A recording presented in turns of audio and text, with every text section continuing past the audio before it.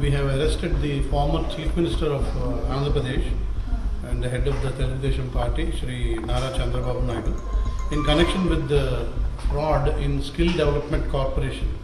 which was formed in uh, 2014 and which was used uh, to siphon off money into personal accounts.